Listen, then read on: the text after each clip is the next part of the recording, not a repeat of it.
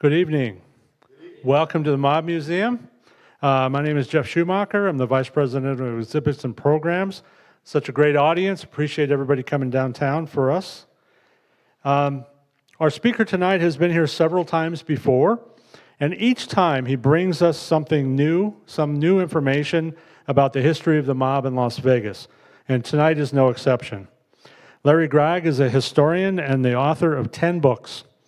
Earlier in his career, and I'm saying this a little bit tongue in cheek, uh, earlier in his career, Larry dabbled in the study of colonial America.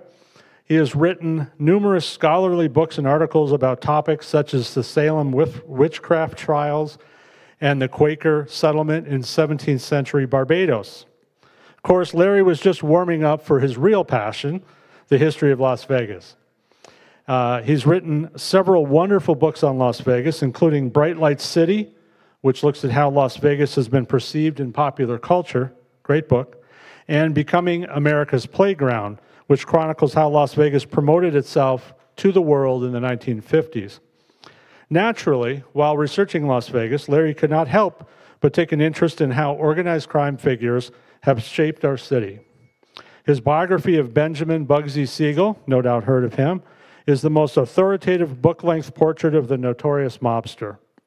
And Larry's latest book, which he will speak about tonight, is a biography of Moe Sedway, who is, who was much more than Siegel's right hand man in Las Vegas. Little Moe, as he was known, was an important figure in the development of the Las Vegas casino industry. As Larry will elaborate upon this evening, Sedway was among the handful of men grilled by the Kefauver Committee in this very courtroom on November 15, 1950. Now, uh, Larry is working on the third installment uh, of his Las Vegas biographical trilogy, an in depth look at Wilbur Clark of, the Desert, of Desert Inn fame, and who, incidentally, also was questioned in this courtroom by the Kefauver Committee on that fateful day in 1950. Um, so, you know, as usual, we'll take some questions uh, after Larry's talk, uh, and then there will be a book signing uh, if you have an interest in the history of this town, uh, this book is a must have, in my opinion. So please join me in welcoming Larry Gragg. Jeff. Hi, everybody. I can't see you. It's so bright up here. Thank you, Jeff. It's, it's a treat to be here. I, I love this museum. Every time I, I'm in Las Vegas, I try to come down and look at the exhibits. And I did that yesterday. I came through yesterday afternoon and sat in this room and watched the roughly 15 minute program on the Kefauver Committee. And what I noticed is something I, I don't usually see in museums. Usually, people will sit down for the beginning of a, of a little film clip and they'll get bored and they'll walk off. But there were several people seated here and they stayed through the whole thing, which says a lot about the quality of that, that 15 minute program. Well, I'm going to talk this evening, as, as Jeff indicated, about uh, Moe Sedway. And, and the question that I have to answer first why? Why would anyone write a book about Moe Sedway? And, and that, that's a fair question because here's a fellow who was only five feet two inches tall. And when the FBI uh, did a profile of him, they said, here's a man with no physical power. There's, there's no reason to fear Moe Sedway. And then, in another characterization of him, in a very dismissive way, they said, during periods of stress, Sedway wrings his hands, becomes wild eyed, and resembles a small dog about to be subjected to the distasteful procedure of being bathed. Now, you can't get more dismissive than that characterization. And most authors who write about him will talk about him being essentially a, a gopher for Bugsy Siegel. And, and, that includes this author. I, I, did the same thing when I, I wrote about Moe Sedway. However, about three years ago, I was working on another project and I started looking at, at the Kefauver Special Committee on Organized Crime and Interstate Commerce and the, the hearing here in Las Vegas and realized as I looked through the transcripts, the person the inquisitor spent the most time on was Moe Sedway. So I wanted to know why they spent so much time on Moe Sedway and not these other fellows.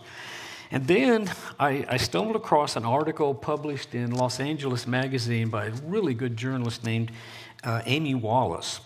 She said that she had come across a, a book proposal written by Moe Sedway's widow, Beatrice B. Sedway. She wanted to have this book be titled Bugsy's Little Lunatic.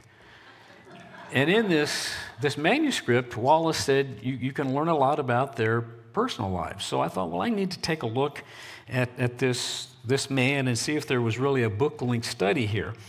So, how does one go about researching Moe Sedway? Well, if you're going to do any research on Las Vegas in the 1940s and 1950s, you really have to start with the really good historians who have already published on the topic in the 40s and 50s. Uh, the first person that you see in the uh, upper left is the late Hal Rothman, a, a, very talented historian of Las Vegas. And then that second guy is it's the guy who just introduced me. And Jeff is a wonderful journalist and historian. Then there are two really talented uh, UNLV historians, Mike Green and, and Dave Schwartz, who have appeared here often, and then the late Gene Moehring. So I got grounded in what they had to say about Las Vegas in the 40s and early 50s. And then I had to get to the primary sources.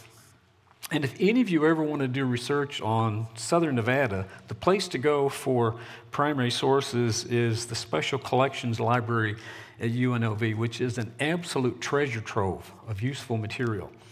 And what I used for Sedway were, were essentially three collections. They have all the city commission minutes through 1960, and I found Sedway uh, in many of those uh, sessions. And then there's this remarkable treasure trove of oral histories. Uh, I used over two dozen of those oral histories to help get a sense of what Sedway was like in Las Vegas. And then there's this wonderful niche collection, the Southern Nevada Jewish Heritage Project, which is absolutely wonderful, not just for Sedway, but for the growing Jewish community in the 1940s and 50s. And I have spent over 200 days since 2003 in special collections. And sometimes I, I will spend all week long, and by Friday afternoon, I'm pretty worn out. This is a photo of me taken by their gifted photographer, Aaron Mayes. You really get worn out doing research at special collections, but you can see I've put back, I put on the pounds again after that. Well, once you're done at special collections, you can find a lot from not just the, the hearings that took place in Las Vegas, but the transcripts of all the hearings, and they're searchable. So I was able to just type in Moe Sedway, and he, he comes up in many of, of these investigations in New York and in LA and, and other places. And I'm pretty much standing right where uh, Estes Kefauver was standing in, in that photo. Beyond that, uh, any of you can go online and go to the FBI vault, and you just type in the search box a gangster's name. In my case, I typed in Bugsy Siegel, and there are over 2,000 pages on Bugsy Siegel in the FBI vault. And many of those documents uh, mention Moe Sedway, and I'll, I'll, I'll, refer to a couple of those a little bit later. And then you have to read newspaper articles. Uh, four Las Vegas papers were especially helpful. The most important one, because it was continuous for me from 1941 through 1952, was the Review Journal. A few articles in The Age, which was dying in the mid 40s. The Las Vegas Sun had just started in 1950, but had some very useful articles. And then a wonderful newspaper in the mid 40s called the Morning Tribune. It's the, the newspaper where I found the only interview with Moe Sedway. It was an interesting one because it was 1944 during the presidential campaign of 44, and Moe Sedway was a big Franklin Roosevelt supporter. He said, I met Franklin Roosevelt. I met Woodrow Wilson. Uh, I met Al Smith in New York. He was a big Democrat, and he every time somebody would come in to bet on a horse race, he tried to get them to think about voting for Franklin Roosevelt. I also subscribed to a couple of newspaper databases, which were really helpful newspapers.com and Genealogy Bank, and found hundreds of, of newspaper articles. So, that's how you, you research a figure like this. Let me quickly move through Moe Sedway's early life and get him to Las Vegas, but you need to know a bit about his background. Uh, he was born in Galicia, which is in Poland, the part of Poland annexed by Austria. So in some documents, he would say he was from Poland, in some documents, he would say he was from Austria. A couple of times he said he was born in, in 1901, but most of the documents indicate he was born in 1894. His family immigrates in 1901, and as most uh, Jewish immigrants did in New York City, he, they located on the Lower East Side, and they located on Rivington Street. And you can see from that sign on the light post, I actually found a photo of where they were living uh, uh, when they migrated to the States. He went to school for 10 years, quit after his sophomore year because the family needed him to help in their butcher shop. He managed the butcher shop. In fact, thank goodness for Ancestry.com. When he registered for the draft in 1917, he said he was the manager for his father and therefore he should not be drafted because he was needed at the butcher shop, but they drafted him anyway. And he serves in World War I. I couldn't determine whether he served stateside or, or overseas. After the war, he goes into business, buying a truck and delivering garments in the, in the very busy garment district in New York. But he also began getting involved on the wrong side of the law. Like many youngsters in Italian families, Irish families, Jewish families in New York, there were street gangs. Very few of these youngsters went on to become career criminals. Moe Sedway did. I found three instances where he was arrested in the 20s. Uh, for one of those, he, he spent a year in prison. But his most notable crime, or alleged crime, occurred in, in uh, 1936. He and Davy Berman, uh, Berman is very important for Las Vegas in the 1940s. He's from Minneapolis. A lot written about him by his daughter Susan Berman. Uh, they were arrested, actually, it was 1935, not 1936. In, in 35, uh, they allegedly stole $800,000 worth of treasury notes. Uh, it went to the jury, and they, they only spent a few minutes deliberating and found him not guilty. Nonetheless, I, I was looking at some of the material in the New York City Municipal Archives, and the Kings County District Attorney concluded in 1939 this guy, Moe Sedway, was one of the most important bootleggers in New York in the 1920s, largely because he was associated with these two guys. He was friends with both Meyer Lansky and Bugsy Siegel. He actually said he and Siegel were, were boyhood friends, which actually was impossible because Moe Sedway was born in 1894 and Bugsy Siegel was born in 1906. I can't imagine a 17 year old palling around with a five year old. but they did become friends in the late teens and early 20s. Uh, Lansky and Siegel saw Sedway as important because he had a truck. So as they began bootlegging, they, they used Moe with them.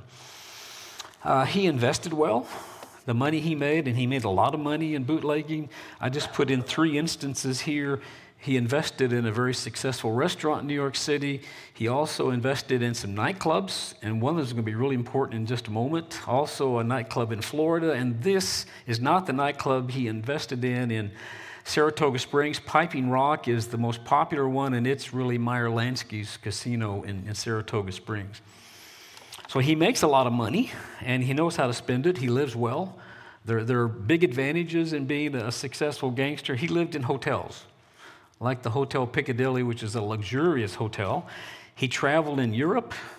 Uh, he often went to Cuba. He liked going to Cuba. Some suggest he went there as a, uh, a man for Meyer Lansky, trying to determine whether or not it would be a good place to invest money.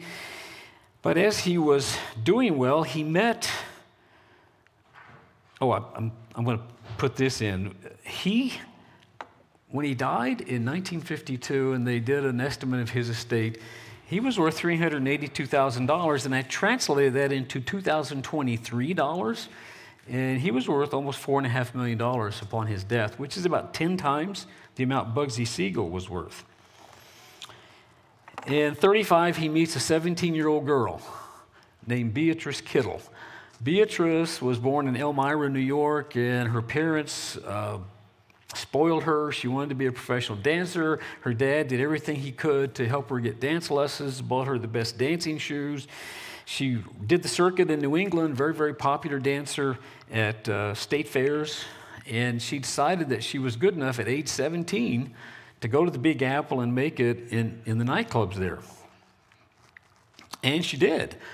She auditioned for uh, a spot in the Paradise Cabaret and learned that one of the investors at the Paradise Cabaret was a 41 year old man named Moe Sedway. And Moe Sedway, when he saw her, said he fell in love immediately. So you have this 41 year old man dating the 17 year old girl.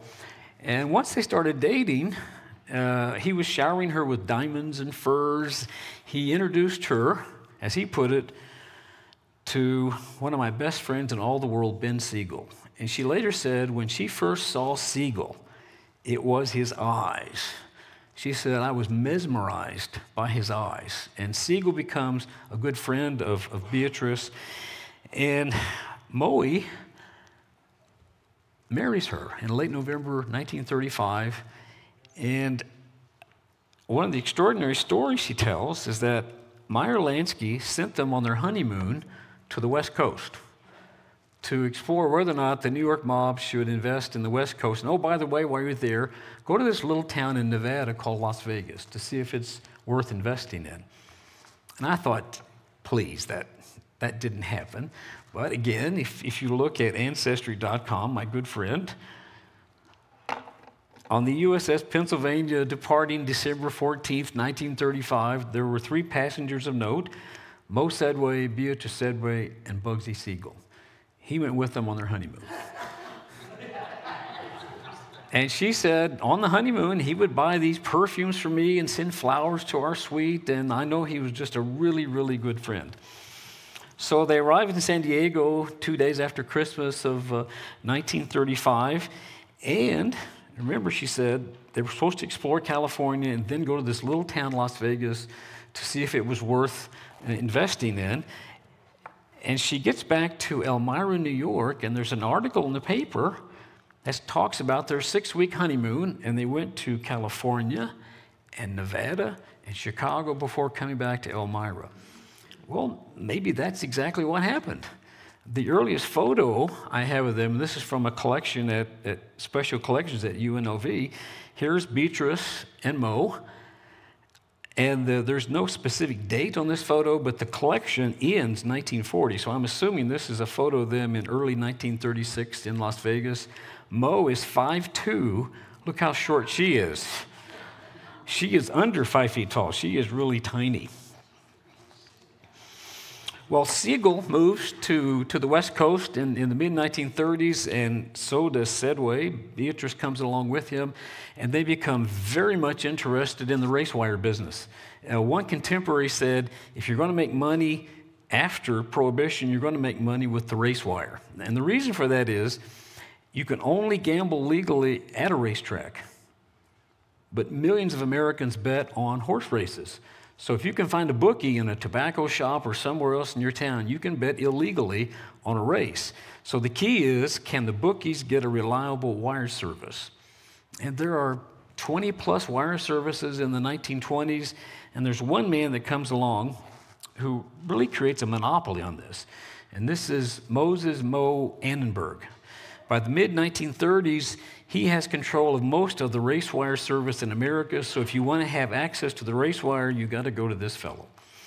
Well, he is uh, convicted of tax evasion in 1939, and he sells the nationwide wire service to a fellow named Mickey McBride, who changes the name to the Continental News Service before he sells it to James Ragen of Chicago. Well, as that is developing, Ben Siegel, working with Jack Dragna and Johnny Rosselli in Southern California, essentially gains control of the race wire in Southern California. And then he taps Gus Greenbaum in Phoenix to get control of the race wire in Phoenix. And years ago, I got the chance to interview uh, Siegel's eldest daughter, Millicent Rosen. And I asked her, I said, Did you ever go to Phoenix with your father? And she was born in 1932. And she said, Yes. I do remember once father took me with him to Phoenix and I met this man, this big man, Gus Greenbaum. So Siegel has extended his influence beyond Southern California to Phoenix, and then then to Las Vegas. And we can date it fairly accurately because he was arrested in 1940 on a charge of murder. And the detectives went through his mansion in Holmby Hills, California, and they're going through the filing cabinet and they find stacks of canceled checks. And one is to Dave Stearns at the Northern Club in Las Vegas for $18,000. So we know that by 1940 he's interested in Las Vegas, but what really gets his attention is a law passed by the Nevada State Legislature that makes Nevada the only state where you can bet off track legally. Now, the best study of, of this law and almost all gaming law up to 1945 is in a dissertation by this really talented historian, Eric Moody. I wish his dissertation had been published into a book because it is marvelous. It's one of the, the places I look for uh, gaming law in the 19 teens, 20s, 30s, all the way to World War II. And he makes a statement in his dissertation, which I agree with 100%. This is the event that gets organized crime figures interested in Nevada and specifically in Las Vegas, because this is the year 41 that brings Ben Siegel and Moe Sedway to this town. Now, once they get here, they want to get control of the race wire coming into uh, Las Vegas. So there's this wonderful letter here in the museum it's a letter from uh, a man named Tony Corica, who is in Phoenix, and he is one of the distributors for the Continental News Service. And if you can see the, who it's written to, it's M.M. Sedway, Las Vegas, Nevada. They're at the top. And what Corica does is award, with this letter, Moe Sedway monopoly control of the race wire for five years. So if anybody in Las Vegas wants access for their casino to the race wire, they've got to go through Moe Sedway, who is backed by Bugsy Siegel. Most people are not afraid of Moe Sedway. Most people are afraid of Bugsy Siegel. So again, if you want access to the wire service, this is the guy you got to go to. Now, the, the real profit in this for Sedway and Siegel is not so much the fee they charge for the service, but they also tell those who buy it, we get a percentage of your race book. Sometimes it's 20%, 30%, 40%, even more than that. So it's very, very profitable for Sedway and for Siegel.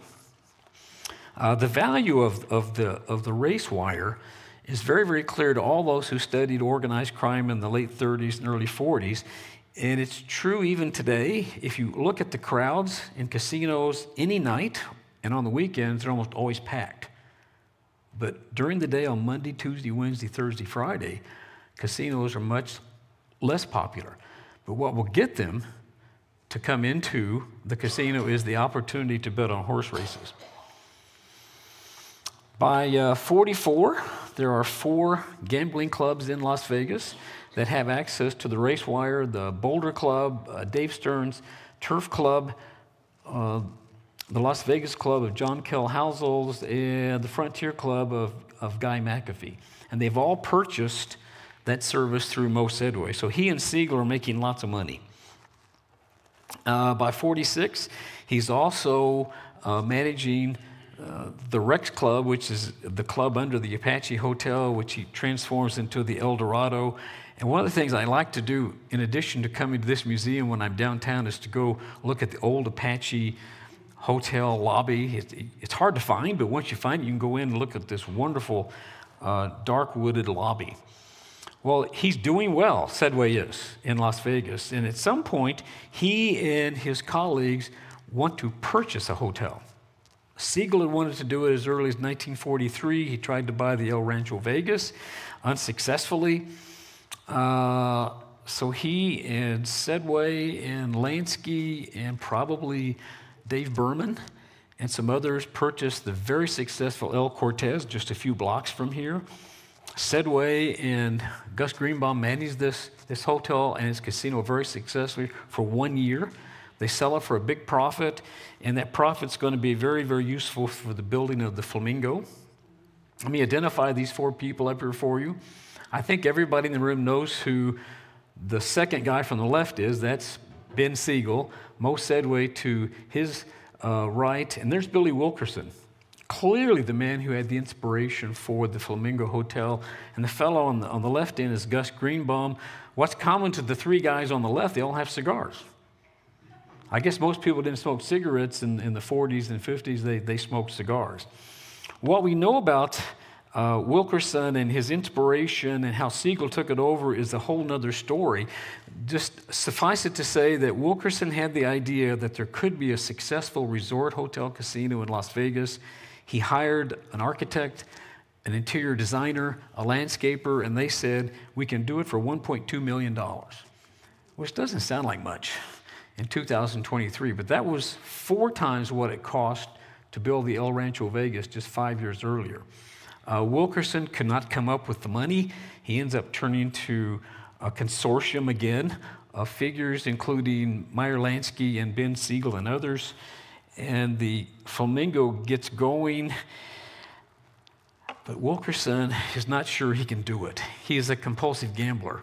And at one point, he says, I'm done he writes a wonderful letter to Moe Sedway, which Willie Wilkerson has in the first book he wrote about his father. And I have just one sentence from this intriguing letter. Look at that. Las Vegas is too dangerous for me. I like to gamble too much. In fact, there are some, some checks here in, in the, the museum that Billy Wilkerson wrote to pay off his debts to casinos in Las Vegas. Sometimes he'd lose $10,000 in one night, $12,000. Uh, Willie said one year, I believe it was 1944, his father lost over a million dollars, but he just loved to gamble. He couldn't stop doing it. Well, he does sell this thing to Moe Sedway, but buys it back two months later in November, and the thing gets built. And I always have to put these two photos in the building of the flamingo because I'm always reminded of the singer Rose Marie's comment about the flamingo. She was there the first night with Jimmy Durante. She said this was an extraordinary resort. But when you looked out any window, all you saw was desert. And she's right. No matter what direction you look at, this beautiful resort hotel is going to be in, in the middle of a desert.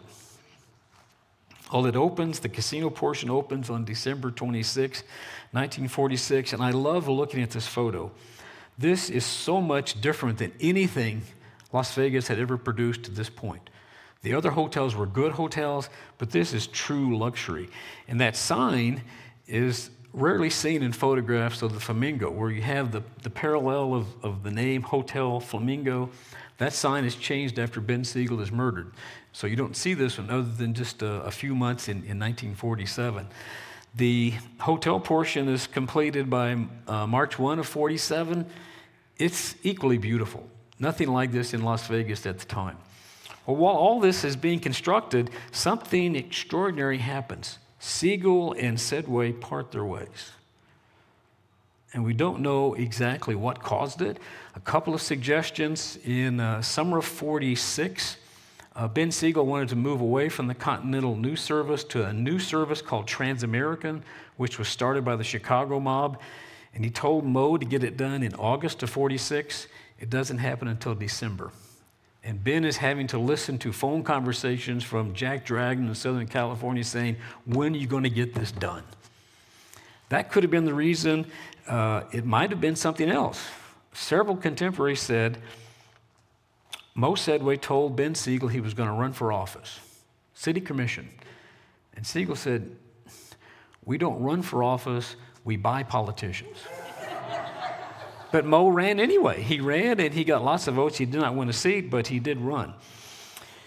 Well, whatever the case, there is absolutely clear evidence that they had parted ways. I just put up three quotes here for you. One is from uh, Ben Siegel's girlfriend, Virginia Hill. She said, I don't remember seeing Moe Sedway at the Flamingo, late 46 through 47. The police chief in Beverly Hills, Clinton Anderson, said the same thing. What I learned in investigating this is that uh, Sedway was not even allowed into the building in 40, late 46, early 47. Then I came across an FBI report in summer of 47 after Siegel was murdered, and they it said the people we talked to in Las Vegas, including the police department, say it was just common knowledge that Siegel had been out to break Sedway. I know when it started. I don't know why, but I know when it started because in the Bugsy Siegel files, there is a transcript of a conversation between Meyer Lansky and Ben Siegel. Lansky flies out to Las Vegas in the summer of 46. He gets a room at the El Rancho Vegas. He calls up Ben and says, You and Moe come over. Let's talk about your progress on the hotel. and look at Siegel's response. We don't need Moe. In fact, Moe really doesn't need to be a part of this anymore. I love the last sentence. In short, they could get along better without Moe. Something had caused this bitter dispute. In the unpublished proposal for a book, Beatrice said, This is what happened. In March of 47, Ben Siegel called a meeting of his associates at the Flamingo, excluding Moe. And he told them, I want Moe gone. I want him shot, and then I will chop him into pieces and put him into the garbage disposal in the Flamingo kitchen. When Moe found out, he was absolutely terrified. He called Beatrice and said, You got to come to Las Vegas. I'm scared to death. And she drives over and they, they, they, talk about what they should do. And according to her prospectus for a book, they contacted Meyer Lansky and got Lansky's approval to kill Ben Siegel. But Lansky told them, according to B, it can't be somebody from the family. Nobody from the, the New York family can do it. So a man she had been having an affair with, Matthew Moose Panza, she was under five feet tall. Moose was 6'3, 250 pounds, a giant of a man. And he volunteered to be the shooter. So that's Beatrice's story. Now, to her credit, Amy Wallace says, I have no confirmation for this story. None. All I have is her version of what, what happened. Well, I looked as closely as I could into this story of, of the murder of Siegel, and what we can do is look at the chronology of what happened.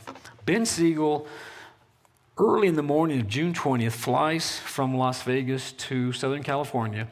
Apparently, the last person he talked to in Las Vegas was Hank Greenspun. At least that's what Greenspun said. He was the local publicist for Siegel. And according to Greenspun, I asked him, Do you have any problems? Is that why you're flying? And according to Greenspun, Siegel told him, Nothing I can't handle. So he flies out to uh, Beverly Hills. He and Virginia Hill had leased this house and the lease was almost up. I think they had five days left. So he was going there to get some personal items, clothing and, and some personal possessions. And he also was going to Beverly Hills to be at the train station when his two daughters were going to arrive.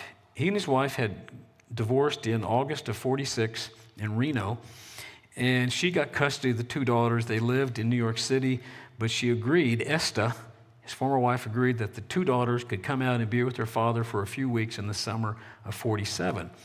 Uh, he met for a little bit with George Raft, to the actor. He was long, long friends with Raft and said, I can't wait to see my girls. They're coming out uh, to see me to go on vacation. He went to his favorite barber to get a haircut.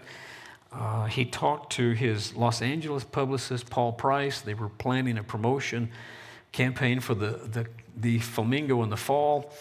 So he had a good day. And at the end of the day, he and a friend, Allen Smiley, Virginia Hill's secretary, uh, Jerry Mason, and Virginia Hill's brother, Chick Hill, went out for dinner at a new restaurant. And while they're at dinner, back in Las Vegas, the second show is ongoing, and we have a, a local resident named, uh, oh gosh, Crockett who is important in aviation in Las Vegas. George Crockett, thank you. Old man's disease, thank you. Crockett said, We were at this second show having a really nice time and, and you know, lots of applause for the performers, but there were eight guys sitting at the table next to us who were not having a good time. They weren't even smiling during the show. But we saw near the end of the show, somebody came over and said something to each one of the guys. And they slowly got up from their chairs, and two of them went to the front door, two of them went to the hotel registration desk, two went to the casino cage, and two went to the security desk. But he didn't have any idea what was going on. And that's near the end of the second show. Well, about that time, uh, Allen Smiley and Ben Siegel and Jerry Mason and Chick Hill are arriving back at 810 North Linden. It's about 1015, 1020. And according to Smiley, he and Siegel were uh, chinning and skimming, chinning, talking, and skimming the newspapers, the early morning newspapers. And at roughly 10:55, uh, shots ring out, through that window, which is 14 feet away from Ben Siegel. Two of the shots hit him in the head, two hit him in the chest, the other five hit the wall behind him. Well, at 11, right at 11 o'clock, Allen Smiley, who had prior to 11 o'clock yelled up at Chick Hill, called the police and called the doctor, Ben's been hit. He calls an FBI informant at the Flamingo Hotel right after the shooting. So it'd be important to know who that informant was. The informant was Moe Sedway. Now, how do I know it was Moe Sedway? Well, uh, there's a wonderful autobiography by the Las Vegas FBI man Curtis Lynum. He he arrived two months earlier in Las Vegas, and he said the other agents had told him, We have this super informant. That's what they call this guy, a super informant. In his autobiography, Lynum does not identify the super informant, but he describes the super informant. And you can see what the informant told him. Uh, Smiley has said Siegel had been shot in the face and the chest. That's exactly right. And he knew he was dead because half of his face was blown away. If you see any of the crime scene photos, that, that's accurate. Well, let's look at this super informant. Look at that bottom quote. This guy knows everybody in the underworld, not just Las Vegas, but throughout the United States. He knows the underworld. Three more clues. He has a wife and children living in Los Angeles. He keeps a mistress in Las Vegas. And he's thought to be a legitimate businessman in town. Let me go through those four clues. Moe Sedway knows everybody in the underworld. We're going to see that when I get to the uh, Kefauver investigation. His wife, Beatrice, and their two sons don't live in Las Vegas. He's got a house on Bonanza, but they live in a mansion in Beverly Hills. Moe has more than one mistress in Las Vegas. In fact, in Susan Berman's book on her father, she said, I remember distinctly Daddy calling Moe Sedway and saying, Moe, she's too young. What are you doing, man? But everybody knew he had mistresses in Las Vegas, and he was thought to be a legitimate businessman in town. So I'm, at this point, 99% sure that this super informant is Moe Sedway, and luckily for Larry,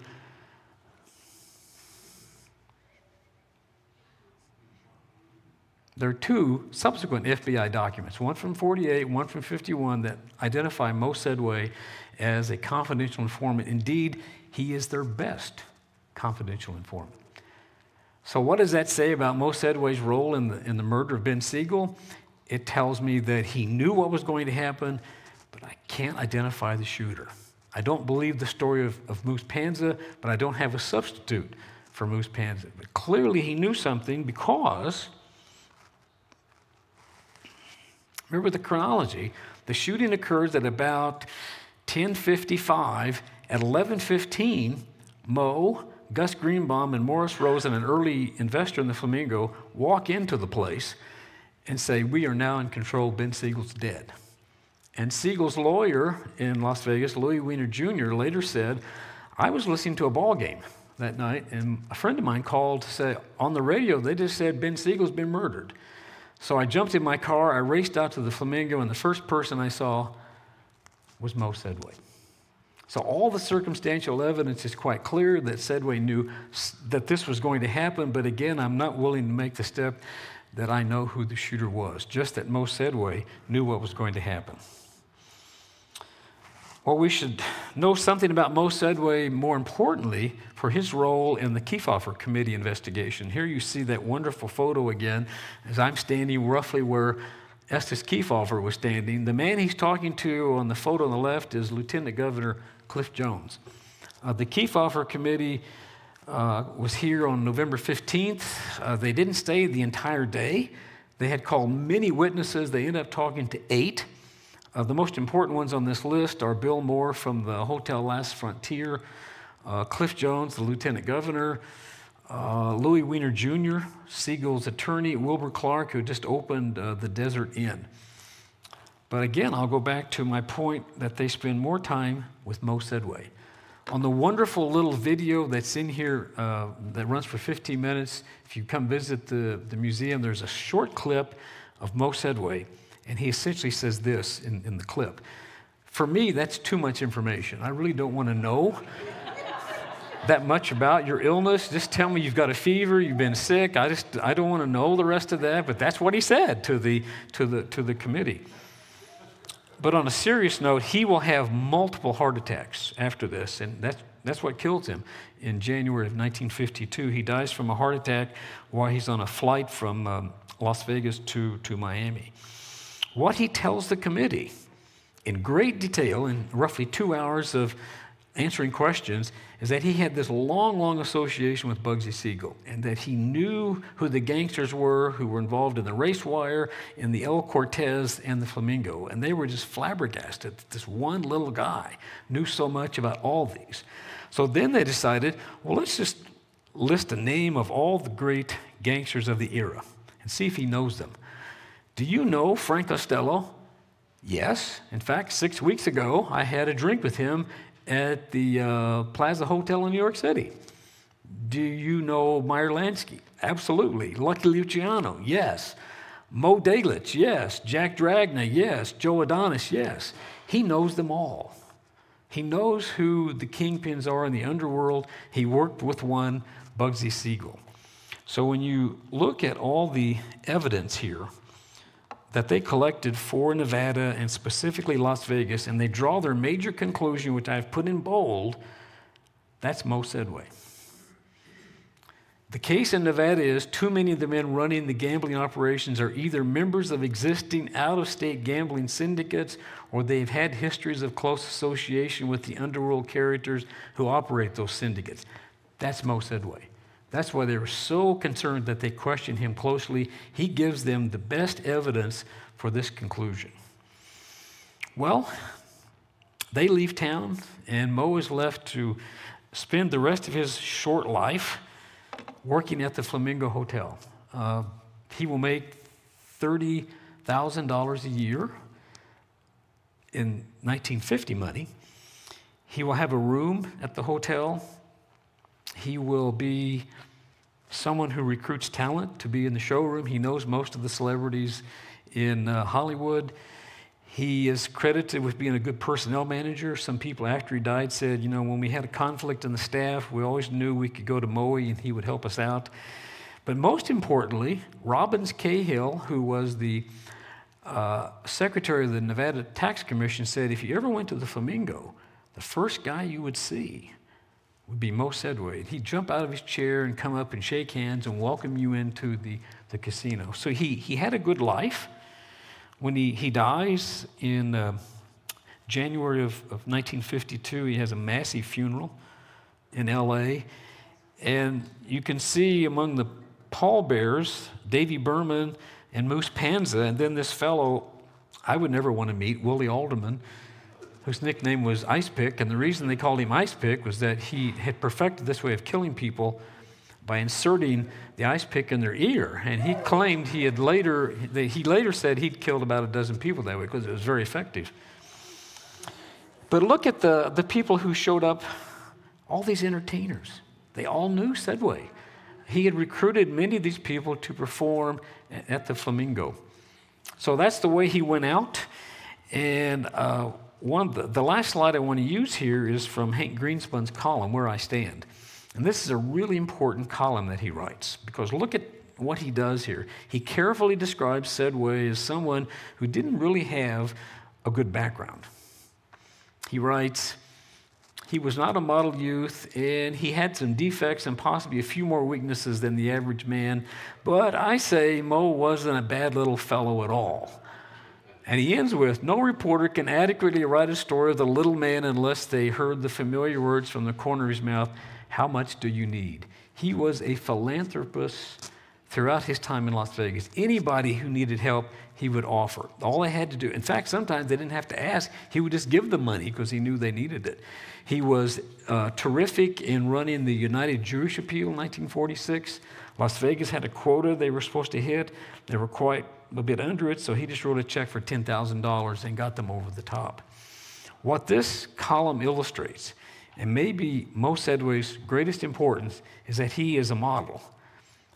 Gangsters realize if you go to Nevada, specifically Las Vegas, you can do things that are legal there that are illegal everywhere else, and you can be a respected citizen and leader.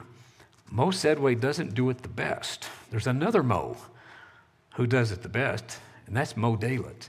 But the model is from Mo Sedway. Well, I do deal with a lot of other things in, in the book. Uh, I love putting together this uh, chapter I have on the gambling fraternity, how diverse it was. I really enjoyed writing about his role in the growing Jewish community in, in Las Vegas. And then again, all the things that caused the columnist to call him in the end the little giant of Fremont Street. Thank you.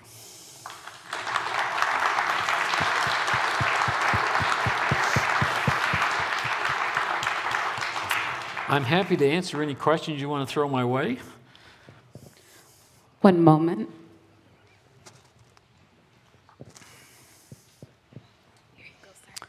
But if you ask it, I won't Yeah, be able hello. to see you. Good evening. Thank you very much. It's been very interesting. Uh, my question really has to do with the race wire. Sure. I'm over, I'm over here in the middle. I know you can't see me, right? Okay. anyway, um, the question has to do with uh,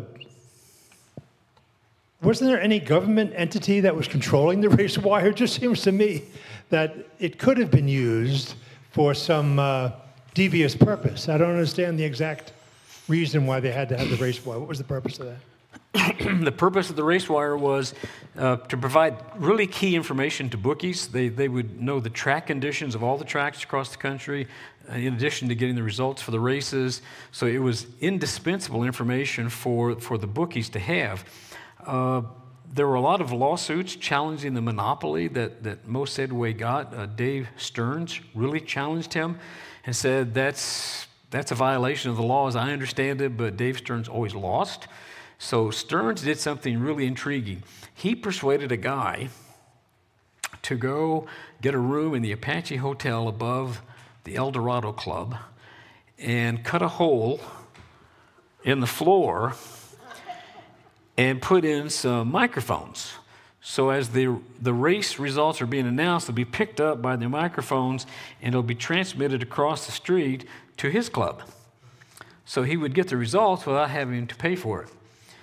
Well, there was a, a taxi cab driver who would always go down Fremont Street, and he told the police, I keep getting these crazy signals, and, and I don't know where they're coming from. So the police uh, called some federal agents from the FCC, and they came out from LA, and they triangulated what was going on, and they, they nailed Dave Stearns because he was stealing this information from, from the uh, El Dorado Club. I don't know if that answered your question or not, but it's, it's, it's entirely legal. And if you're able to get a monopoly control over it, then you're going to make lots of money. The solution for the state of Nevada was they, they refused to grant Sedway any further state licenses. And Dave Stearns, the same thing. So they thought they could get rid of the conflict that way. That was a good question.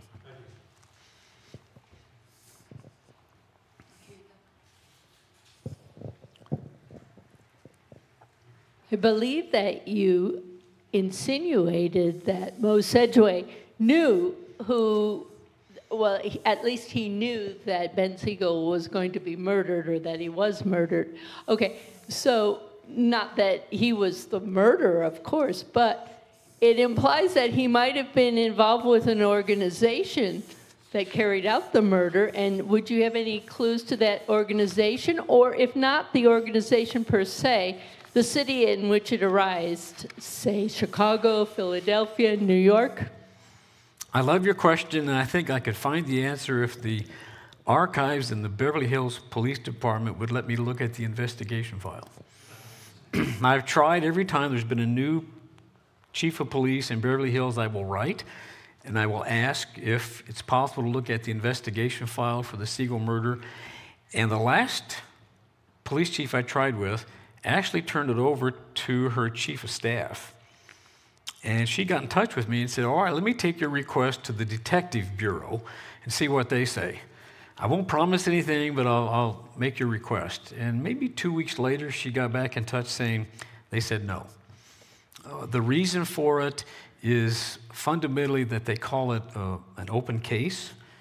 And my response to them always has been the same well, if my math's any good, this is over 70 years ago. What are the chances the shooter's still alive? but I've gotten nowhere. Uh, uh, uh, two years ago, when I, I, was in a panel here, I, I, asked the audience if anybody's from the Beverly Hills Police Department or you know somebody, let me know. And a gentleman, as he walked out, said, You got to contact Clark Fogg. I said, Okay. So I, con- I looked him up, and he was retired. Uh, he was the chief. He was the chief forensic uh, scientist for the Beverly Hills Police Department, and he chatted with me for a while. And and uh, I said, "So, are you aware of an investigation file?" He said, "About a dozen years previous, the chief of police then said, Clark, we're about to hit our centennial. Why don't you write a history of the Beverly Hills Police Department?" So he did with a co-author. He said, I started going through all the old files and I found this box with a lot of loose paper in it. And it was the Siegel investigation file. And he said, There is one. I know it exists. I've seen it. I helped put it together. So I said, What's in it?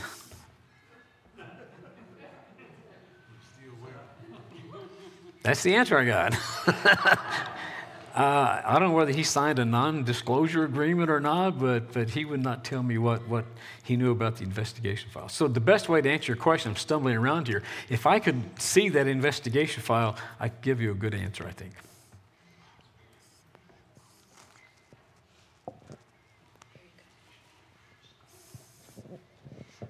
What do you suppose was the motivation for Sedway to be an informant in 1947? Wonderful question. It's very dangerous to become an informant against the mob. Uh, two examples. There was a fellow named Abe Reles who was part of Murder Incorporated. These were the savage murderers you'd contact. If you wanted somebody taken out, these guys would do it. And he decided to turn state's evidence. He just he ratted out everybody. All the murders he participated in, and he was naming people, and they promised him protection. So he was put on a, in a hotel room, he was the only person on the floor. And there were police in the hallways, police everywhere, and they found him about five stories down. And uh, they, they claimed that he had tied some sheets together and he was trying to get out, and that you know, the sheets broke apart and he fell to his death, which nobody believed. Uh, and then there was a guy named Harry Greenberg, who in uh, 1938 39 was short on money, and he contacted uh, Lepke Buchalter, who was also associated with uh, Murder Incorporated, said, "I need some money. If you don't give me some, I'm gonna I'm gonna rat you out." That was a mistake. Uh, he he went to Detroit for a while. He ended up in in in, in Los Angeles, and he was murdered. And that was why Siegel was arrested because the evidence indicated Siegel was involved in at least the planning of Harry Greenberg's murder. He was arrested twice for it, and in both cases, uh, not found guilty. So it was very dangerous to become an informant. Knowing the timing of it, I would think it probably had something to do with his split with Siegel, because the timing's pretty close. Uh, 1946 is when they split, and the first evidence he's an informant is early 47. That's my best guess. Good question. And maybe that's why he was willing to talk to the Kefauver committee at length. I have no evidence that the FBI had helped the Kefauver committee. I don't know. Good question. Any Hi, Larry. Hi. I'm over here to your right. Okay, go Hi. fire away. I have a thousand questions for you, but uh, I'll, I'll, try to limit it to one. So if uh, if Moe is an FBI informant at that time, and we know that Allen Smiley calls him immediately after Ben is murdered. Number, I guess my first question is why did Allen uh, call Moe? Do you think Allen knew about the murder in advance? I personally don't. And my second question is do you think Meyer Lansky knew? Because to me, if uh, Meyer didn't know and it wasn't sanctioned by the guys back east, um, and in Lucky's case in Italy at the time, I think, then. Uh, Moe's days were numbered after that murder, not because he had heart problems, but because the guys would have found out that he was informing the FBI. That's pretty good. It's distilling those thousand questions out, of but it's a very good question. Uh, specifically, what, what did Lansky know and what did Lansky authorize? Uh, people who asked Lansky, uh, he would always, to the end of his life, say, I had nothing to do with it. I, I, I, I would, I would have hoped that, that Benny would have lived to be as old as Methuselah. And I remember distinctly uh, there was a reception from Millicent Rosen, Ben's eldest daughter, here at the, at the museum a few years back. And it was a, there was a question and answer session for her. And there were some photos from her life. And one of the photos was her wedding. And the person who was giving her away was Meyer Lansky. So someone in the crowd asked, Do you think Meyer Lansky authorized the murder of your father? Well, you remember when I said about Ben Siegel's eyes being mesmerizing? So were hers. She had these steely blue eyes, and she stared at this person who asked that question. And she pointed, she said, Didn't you see this photo? Do you think if I believed that Meyer Lansky had authorized the murder of my father, I would have let him give me away at my wedding? Now, that doesn't mean that that's clear evidence he didn't authorize it. It's just that he never acknowledged that he had a role in it. He often said, in fact, in 47, there's some FBI uh, memos in which he kind of speculated, well, maybe it was uh, uh, Virginia Hill's brother. He said, those hot blooded Southerners, they, they, get upset over everything, and, and Ben wasn't treating his sister well. Maybe he's the one that did it. So I, I, think Meyer was just really, really good at, at spinning stories, and he never wanted the, the, his connection, whatever it might have been, to be known. Uh, that's me doing a good job of evading giving you a good answer to your question. It's because I really don't know what Lansky's role was. Uh, a, a lot of some of my history professors when I was in graduate school said, Larry, the problem with you is you're, will, you're unwilling to go beyond the evidence. And I said, well, wait a minute. Historians have to base what they say on the available evidence.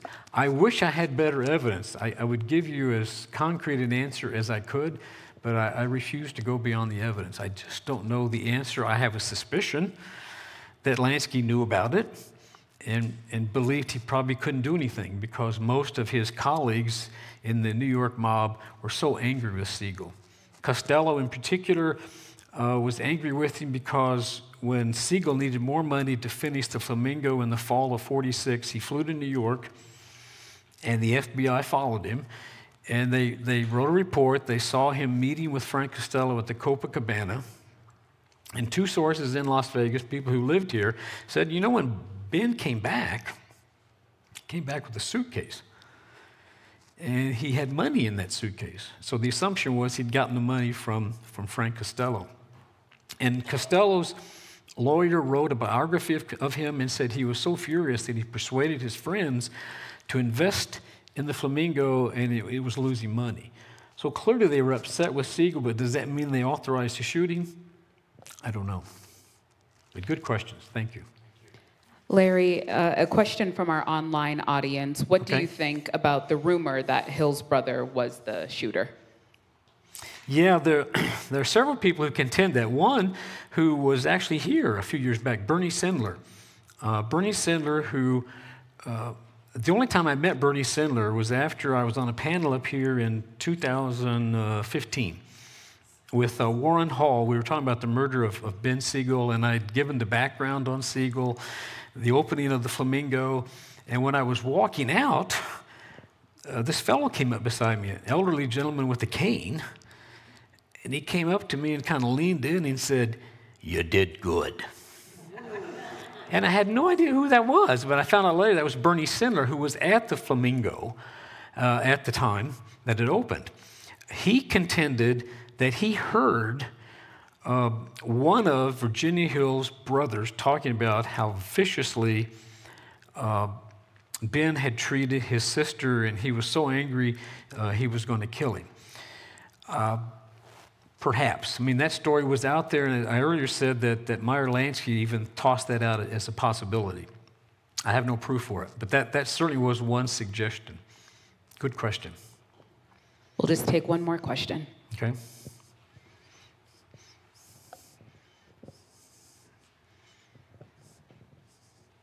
No more? Okay.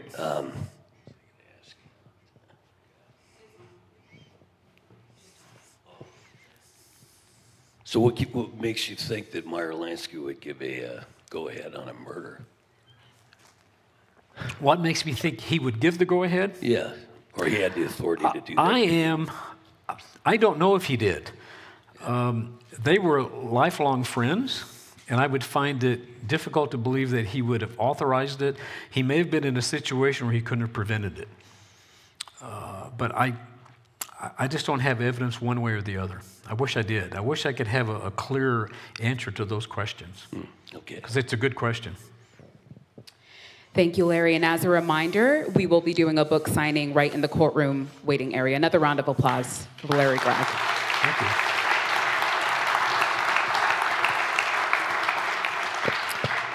Could, could I say one last thing?